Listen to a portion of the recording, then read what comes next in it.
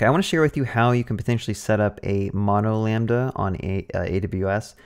So there's a couple things I need to kind of talk about and define so you'll actually understand what I'm talking about. So on Amazon, there's something called Lambda. It's a service that you can use to deploy serverless functions. And I believe Lambda is the service that Vercel uses behind the hood to basically host your APIs. And there's a lot of benefits to using Lambda. There's some downsides, but there's also some pros. Right? Uh, some of the pros I can mention is you'll basically get scaling for free. You'll get logging out of the box with CloudWatch. So basically everything that your Lambda prints out will be sent to a logging centralized location that you can use Amazon's query tool to kind of search through your logs if you need to. They have like a 15 minute timeout and they also have the ability to scale up to, I believe, like four or five or six gigabytes of memory. And the, the more memory you provision your Lambda, the more CPU allocation that the Lambda gets. And then also, eh, once you start using Lambdas, you basically have this nice ecosystem with like SQS, and you can kind of plug in all these different Amazon services to use Lambdas to process things. So that's one reason why I kind of like using Lambdas. And we use Lambdas at our work for our entire API, and we use a mono Lambda approach. So what is a mono Lambda? Basically, you take an Express service or some type of, um, or you can use like a Go API or something, but you basically take your entire service and you deploy it to a single Lambda, and that Lambda is what's in charge of doing the routing, right? So instead of deploying like every endpoint to a separate Lambda function, you deploy your entire API to a single Lambda. There's some downfalls of that. Um, obviously, they all have to share the exact same configuration. So if some endpoints don't need that much memory and other endpoints do, or some endpoints don't need that much CPU usage and other endpoints do, you can't really customize and you know configure every API endpoint individually. And they all have to have the same timeout, which it doesn't really matter because if you're hosting this in front of API gateway, your timeout's like 30 seconds anyway, so you can't really change that.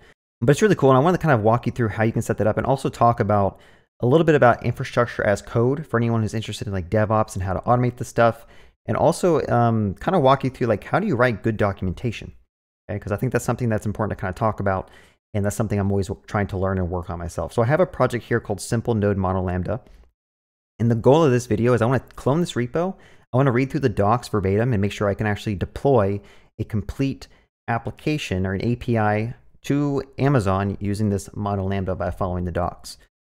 So what I'm going to do is I'm going to go to my workspace and I'm going to git clone this real quick. Okay. And then I'm going to go ahead and open that up. So let's just go ahead and go to that directory. Um, and we're going to open up the README, right? Again, when you're writing applications, you want to make sure your README is is solid, right? You don't want people to grab your code and get stuck halfway through the setup process because now they're just going to go and ask for help from other team members. Stuff's not going to work on their machine. They're going to have to figure out why. So the first thing I would do is every so often delete your entire project, clone your repo, read through the README, and follow the steps to make sure that you can reproduce the exact steps to run it locally and deploy it. Um, I'm not going to read this out loud to you all. This is like a little bit of background information about like why and how the stuff is set up um, and some notes. But let's just go down to the dependencies, or that you can call this like the prerequisites. Like, what do you have to have installed in your machine before you can actually run this stuff? So in this case, it says I need an IAM user role and policy set up that I can use to deploy this Lambda, which I do have set up already. I need the AWS CLI. So if I do AWS and type in help, does this actually print out? Um, it does also do version, and that's what version of the AWS CLI I'm on.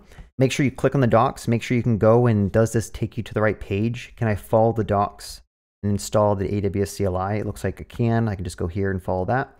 That seems good. Um, so AWS configure, I know that's going to work, but I would probably run this. I would set this stuff up manually um, and make sure you have all these things set in your environment. So at this point says Node 18 installed. Like you could potentially document the steps to install Node in case someone doesn't know how, but there's kind of some type of responsibility of like how much knowledge should the person know if they're coming into this project. They should probably know how to install Node, right?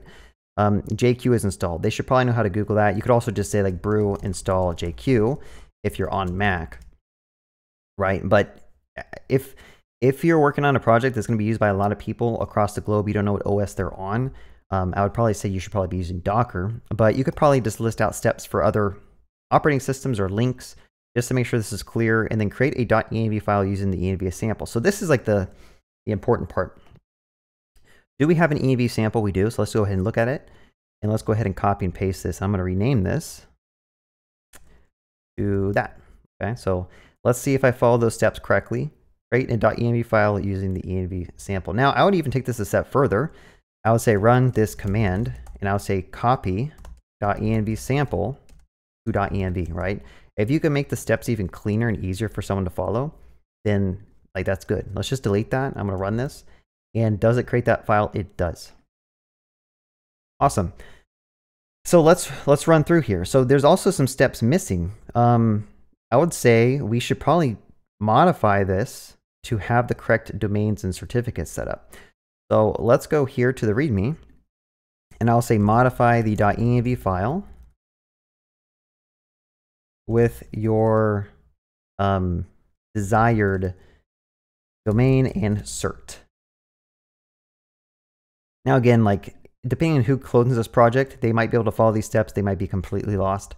Um, but for me and someone who kind of knows a little bit about this, they could open up this file and I could say like example mono lambda. I want to modify this thing. Okay, so I follow the steps. Am I good to go? I don't know yet. So how to run? I'm going to do a yarn. And let's see if this actually spins up our thing. Now, one thing I noticed is that I don't have yarn as a dependency. So I should probably say yarn is installed.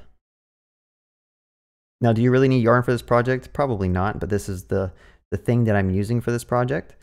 So I'd kind of recommend that you do have it set up. Okay, so I did yarn, that installed some stuff. I'm gonna do yarn dev. I wanna make sure I can go and load up this application.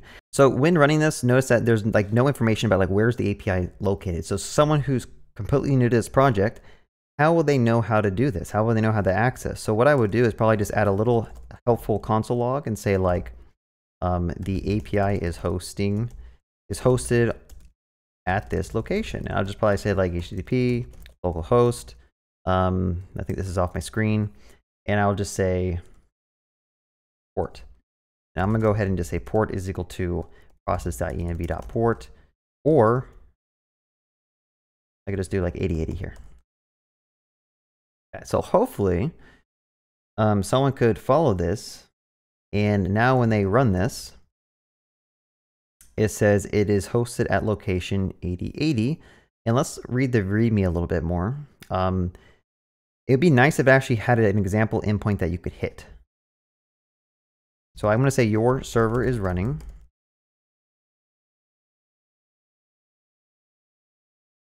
Here.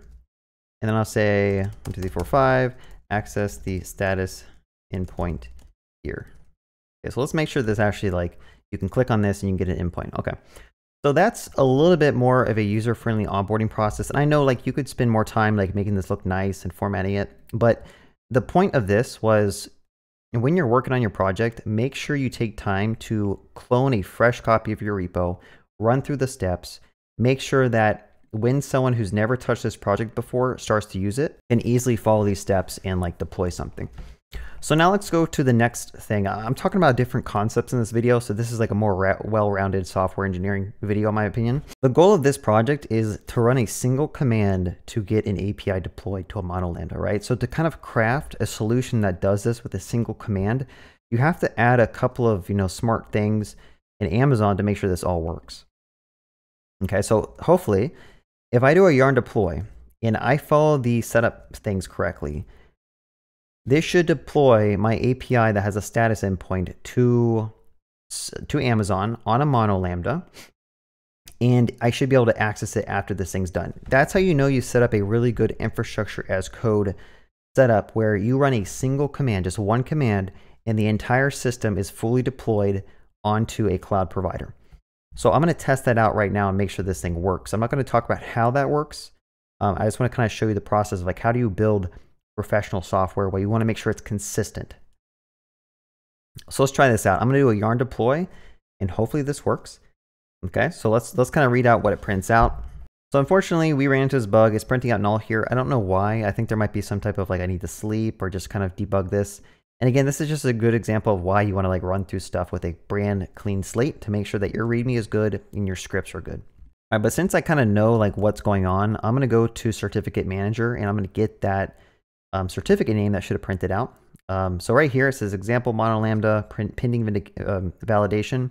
Let's go into here and let's go ahead and try to figure out the CNAME that I need to put into my DNS. Okay, so it should have said, please add the following CNAME record to your DNS. It should have printed this stuff out, but unfortunately it didn't. Let's just go ahead and log in and do that. So I am using Google Domains and I have like webdevcody.com. I'm gonna go to manage, I'm gonna go to DNS. It doesn't really matter what service you're using. It's the same approach for most services. You have this like area where you can add records. I'm gonna go ahead and just add a custom record. I'll say create new record. And then I'm gonna go back to, I guess I can't go to my terminal. I'm gonna go here, I'm gonna copy this CNAME here. I'm gonna go ahead and paste that in. Now there's something weird I have to do to delete some extra stuff that was pasted here. Sometimes you have to do that depending on your provider. I'll put that there and I'll do CNAME. Uh, let's go and paste that in. So now when I save this, that'll add it to my Google Domains uh, DNS records. And at some point, I wrote this script to basically wait until the certificate is validated. Okay, so that's another good like thing you should do in your infrastructure as code. Again, if you can get everything deployed with one command, whether you're using Terraform or AWS CDK, or if you're using like the serverless YAML, it's good to make sure all these steps are completely automated and that you don't have to keep on doing all these extra steps and like following a bunch of README steps.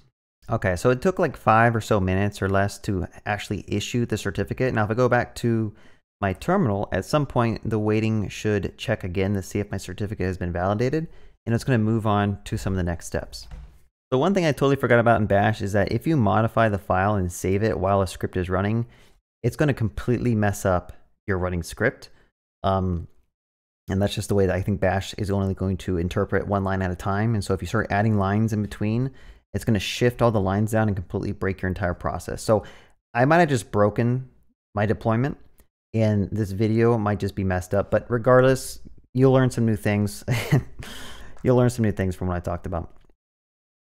Um, but some other steps that it does, it's supposed to wait for the certificate, honestly, and then it's supposed to start creating some some things as well. It's supposed to create the domain and API gateway, and then it's supposed to deploy my mono Lambda, which I think it's still doing to Amazon as well. So we can go to API gateway here. The certificate looks good. Let's go to API Gateway and see what, what I probably screwed up here. Custom domain name. Let's just go here and see. We have example mono lambda. That's set up. Awesome. That is actually hooked up to our certificate. So that worked fine. Um, that's hooked up to our mono lambda that's deploying. And it looks like it actually finished. So this might have actually worked. It might not have broke anything, even though I thought I did. And notice that there's another step that prints out. It says post deploy, please add the following CNAME records to your DNS. So let's just follow these steps and make sure that we can follow these. I'm gonna go back to my DNS here. I'm gonna add yet another manage uh, custom record. I'll add a new one here. And let's just go ahead and delete that. Um, CNAME, and then we're gonna copy that information. Okay, so this should give us like a real domain or a subdomain that's going to point to that API Gateway custom domain.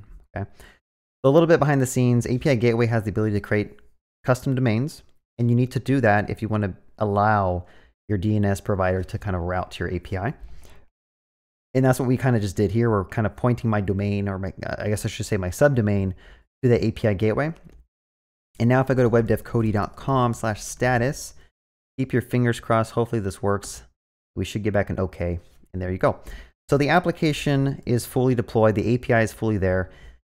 And again, this was all done with a single run command, right? So the takeaway from this video, I know it's kind of all over the place a little bit, but if you're dealing with infrastructure as code and you're trying to automate your deployments, make sure it is simple enough that it's a single command that you run and everything else is taken care of, right? Add in the error handling, add in the retries, add in the waits, and make it as nice of a user experience as possible. Because sometimes what happens is like if you're working on a larger team or a larger project, you have to have multiple environments. You might have to have an environment for dev, for staging, for testing, for production, for pre-prod. And you need to basically quickly deploy these APIs to whatever environment you may need. And the more automated you make this entire process, the more time you're going to save you and your team in the long run to just get the stuff deployed as fast as possible. Um, if you want to check out this project, I know I didn't really talk much about like what do these scripts do, what does the serverless YAML do. That wasn't really the point of this video. This point was just more talking about like the DevOps side of things and to making your the README very clear and the steps good.